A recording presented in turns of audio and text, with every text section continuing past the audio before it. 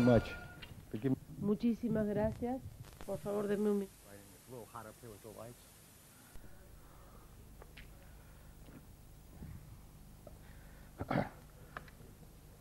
Normally, I tend to speak very quickly. Rapidísimo. Como que hablo más rápido de lo que pienso, pero voy a intentar cambiar esa secuencia para darle tiempo a las intérpretes y para asegurarme de que ustedes me comprendan bien. Yo estoy aquí para hablar con ustedes sobre algo que muy pocas veces se habla cuando se habla del SIDA y cuando se habla del HIV. Durante dos días, ustedes han oído muchísimas charlas, presentaciones donde la gente ha dicho que hay cada vez más evidencia que el HIV no es la causa del SIDA. Y también ofrecimos algunas perspectivas alternativas respecto a qué podría estar llegando a causar el SIDA. Quizás la más conocida sea la hipótesis de riesgo SIDA planteada por Peter Jusberg, pero obviamente es incompleta. Y lo digo esto con gran respeto y admiración por Peter Jusberg. Yo creo que al principio, durante la crisis, cuando se hizo este desafío a la teoría del HIV, ocurrió un gran error. Cuando nosotros dijimos, la evidencia demuestra que el HIV no es la causa del SIDA, no se nos pidió que planteáramos cuál era la causa entonces. Nosotros queríamos demostrar que el HIV no era la causa y entonces el llamado fue a todos los científicos para que trabajaran juntos para que encontraran una solución significativa de esta crisis. Desde mi perspectiva, por supuesto, el SIDA es un concepto, una construcción, una entelequia artificial. Y por lo tanto es muy difícil hablar de ella porque no es real, en realidad es una definición. Y tal como se le aplica como definición es muy peligrosa.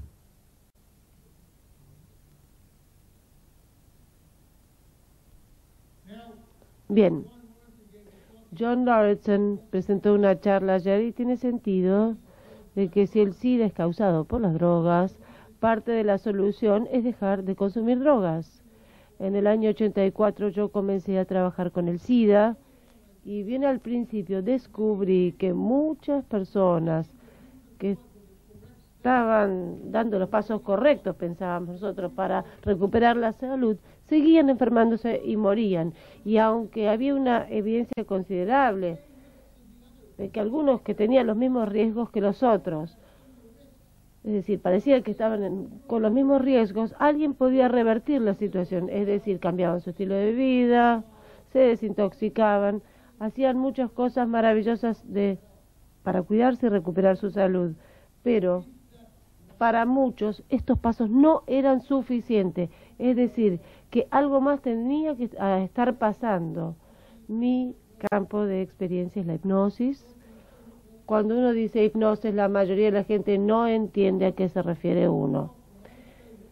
Para esta charla, cuando yo digo hipnosis, me refiero a cualquier cosa que realmente activamente agarre la imaginación. Hay evidencia considerable en lo que es la investigación del cáncer y más allá de la investigación del cáncer y que se remonta a 200 años atrás, que realmente una imaginación muy excitada puede mm, enfermar a una persona y hasta matarla.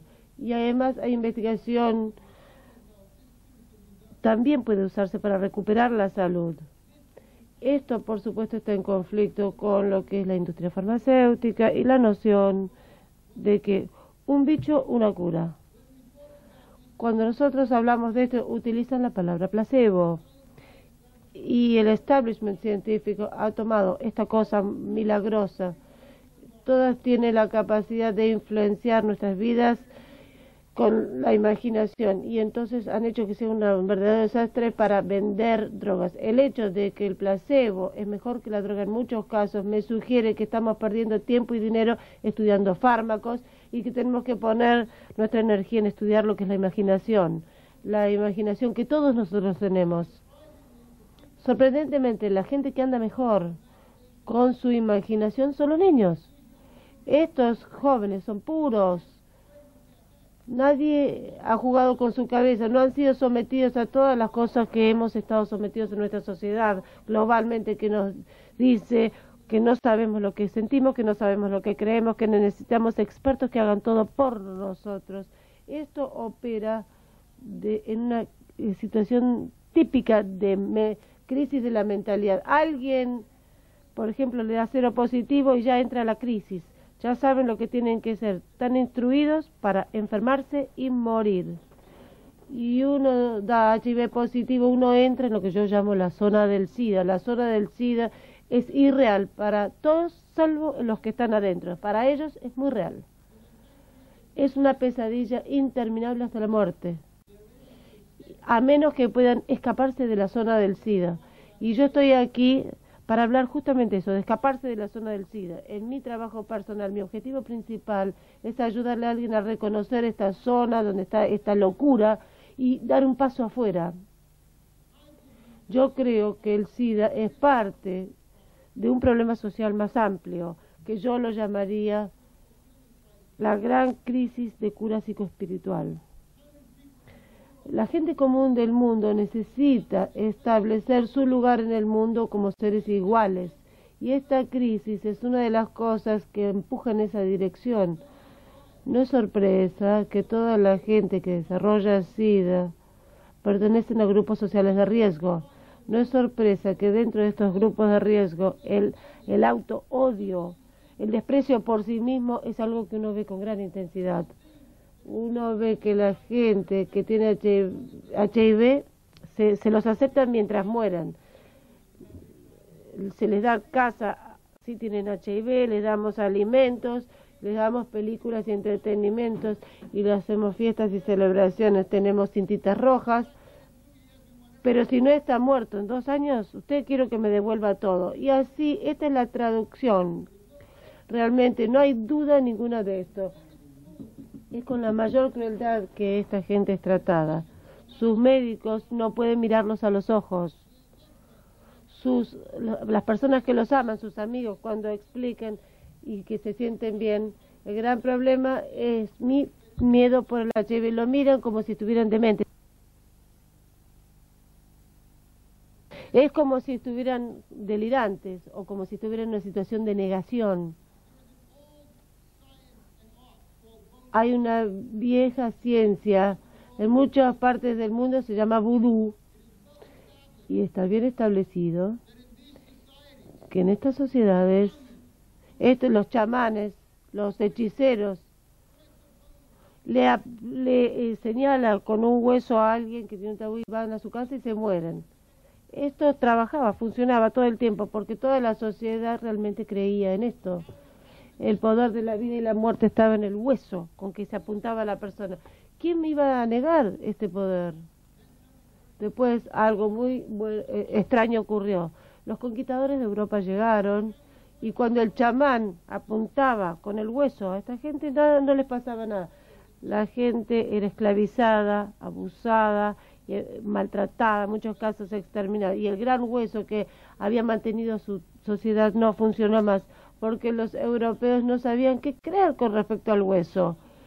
Y sin el, la creencia en el hueso, el hueso no hacía nada. Hoy estamos atestiguando la mayor apuntada con hueso de la historia, solo que ahora se hace con gente que está en guardapolvo blanco, por periodistas, es hecho por grupos de educación del SIDA. Cada vez que uno va el mensaje es el mismo. HIV es igual al SIDA, igual a la muerte.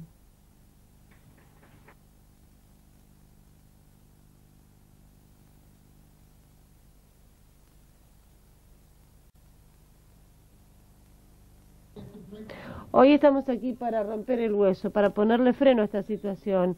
Hay muchas cosas que vino de muy lejos, para estar con ustedes, con la esperanza de que cuando ustedes salgan hablen, aunque sea solo con sus amigos, si están con la presa, donde puedan, que ustedes utilicen la información para decir, bueno, quizás hay algo que esté mal, quizás hay algo más que está pasando. Yo he visto varios milagros he visto a alguna gente realmente ser sacada de la zona del SIDA y volver a la vida normal. Esto es lo que inspiró en realidad mi trabajo. Aquellos de nosotros que hemos hecho esto hemos perdido dinero, hemos trabajado muchas horas en condiciones terribles. Esto no es lo que uno llama la cosa ideal de hacer, porque hace que mucha gente se enoje con uno, porque uno se anima a hablar en contra de ellos y tienen miles de millones de dólares. Ellos controlan a los medios de comunicación. Cada vez que uno habla, uno eh, es eh, se les dice que uno está loco, que uno está completamente chiflado. La gente ni siquiera quiere a, escucharlo uno con la mente abierta y espero que ustedes me escuchen con su mente abierta. Hay evidencia notable de que el HIV no es la causa del SIDA. Sin embargo, la gente que se les dice que son HIV positivos se enferman y mueren. Bueno, parte de esto fue hablado ayer. Yo he visto con mis propios ojos las cosas horrorosas que le pasan a la gente que utiliza ZT durante un tiempo. Pero ahora yo he notado que muchos de los médicos y expertos lo admiten. Dan un pasito atrás y dicen, bueno, ZT, bueno, quizás no se lo doy. En Bashroom también es igualmente peligroso. Yo he observado qué le pasa a la, a la gente que toma Ceptra, por ejemplo he visto los efectos de estas drogas y he visto cómo se manifiestan. Y después cuando están muertos se dice SIDA. La gente que estaba básicamente sana, que en un periodo de 8 o 9 meses se adelgaza, aparece de 90 años y después dice que se murieron de SIDA. La medicina tiene un modelo. La operación fue exitosa, el paciente se murió, por ejemplo. Acá nos dicen que el tratamiento tiene éxito, pero el paciente se muere realmente tenemos que rechazar este tipo de modo de pensar, tenemos que rechazarlo totalmente. Ahora yo quiero darles dos ejemplos de lo que es la hipnosis. La primera hipnosis es la imaginación de la persona. Todo el día dice, me voy a enfermar, me voy a morir, me voy a enfermar, me voy a morir, me voy a enfermar, me voy a morir. Una tos, un estornudo, una simple diarrea, un simple resfrío, un dolorcito de cabeza. Uno dice, ay, ya estoy muerto todos eh, nosotros hemos tenido todas estas cosas antes y aunque eran desagradables, realmente nuestra esperanza de futuro siempre nos llevaba adelante. Esta gente se les ha matado la energía para el futuro, se les ha destruido. No hay energía para el futuro cuando uno le dicen que ya está muerto en el futuro. Estamos aquí hoy para darle a la gente, devolverle esa energía para el futuro. Este tipo de hipnosis aparece porque la persona como yo, uno dice, bueno, tenemos que dejar todos los hábitos peligrosos de tomar, de tomar drogas, tiene que comer mejor y después la persona sigue, sigue enfermándose porque el inconsciente le dice, es una pérdida de tiempo, el inconsciente le dice, no, no se puede hacer nada, el inconsciente le dice, es mejor estar muerto.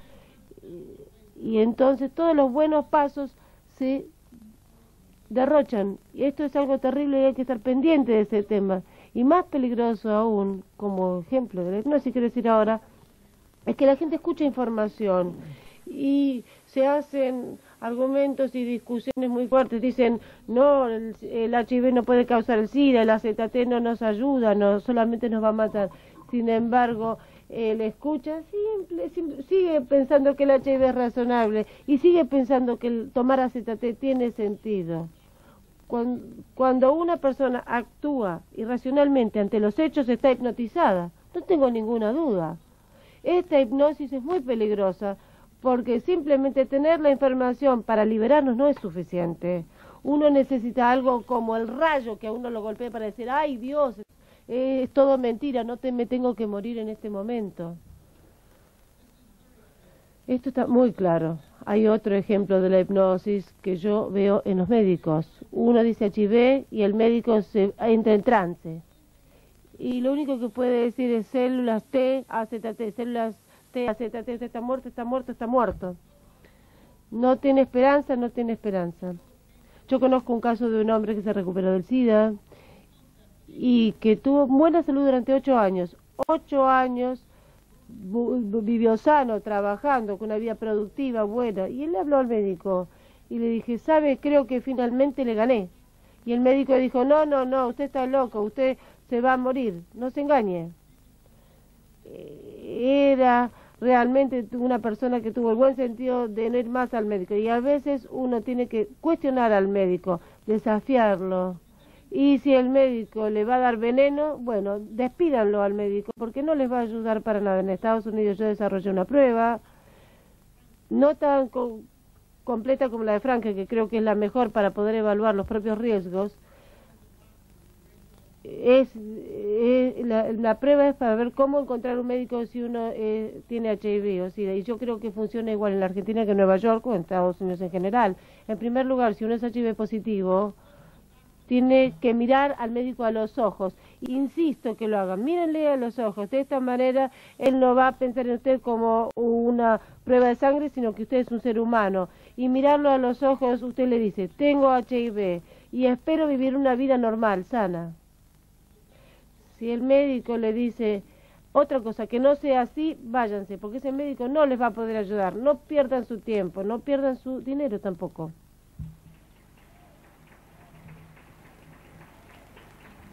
Gracias.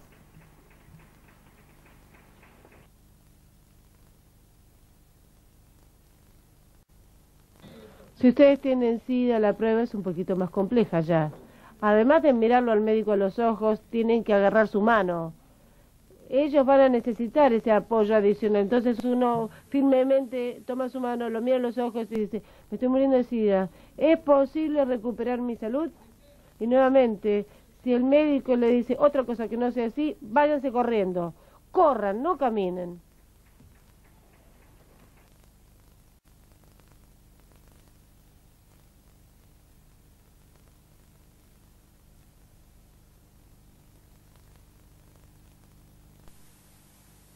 Yo ahora estoy preparado para que me hagan ustedes preguntas con respecto a mi charla y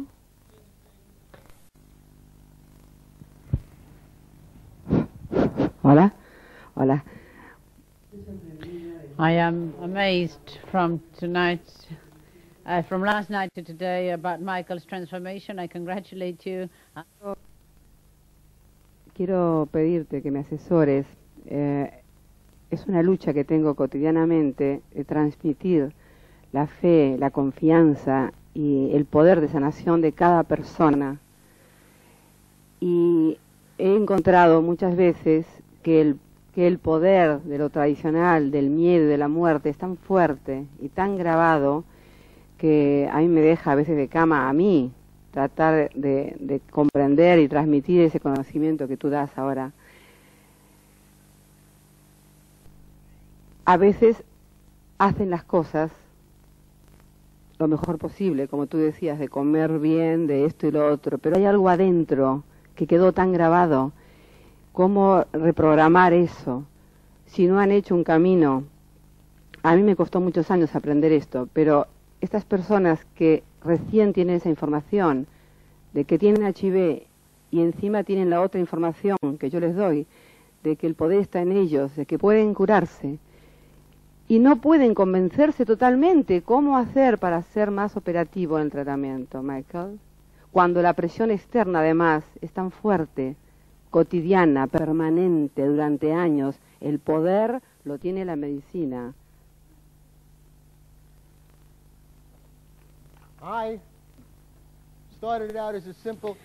Yo empecé como un hipnoterapeuta simple y a lo largo de mi trabajo descubrí que no era suficiente y después me convertí en un ministro no, de, no confesional y me convertí en un ministro porque la gente necesitaba espíritu y volver a la espiritualidad para, para sanarse. No digo de volver a la iglesia, hablo de su propia relación con Dios, de su propia relación con el universo.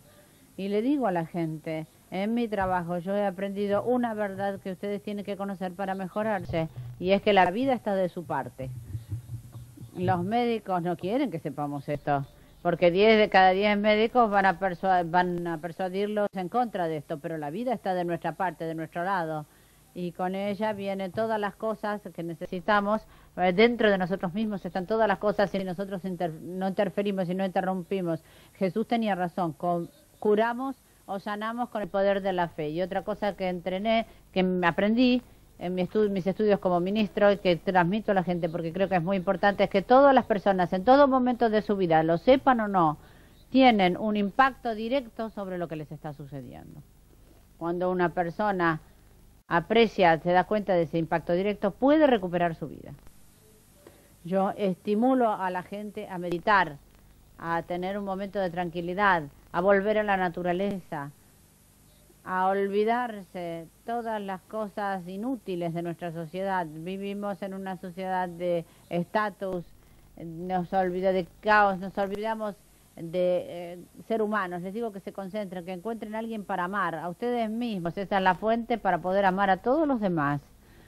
Y la mayor parte de la gente con que trabajo eh, se han amado a sí mismos menos que a cualquier otra cosa. Es difícil crecer en un mundo gay, Mm, no ser gay, sino que el tratamiento que reciben es, terrible. Palabras terribles como aceptación. A veces eh, se escucha a padres que dicen, mire, aceptamos a nuestros hijos, pero no es lo que queríamos realmente, no es sano. Ustedes ven la desprecio de los drogadictos endovenosos, el desprecio de los pobres que vienen a Estados Unidos o a cualquier otro lado desde, la- desde Haití o de otro lado. No son eh, bienvenidos, son tratados como basura.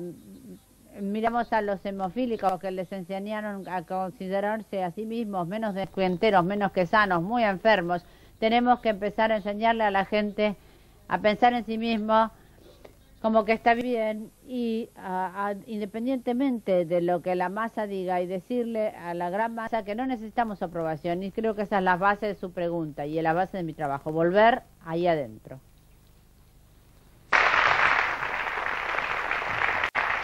And now I'm afraid I'm out of time. Thank Y ahora me parece que se me acabó el tiempo. Muchas gracias.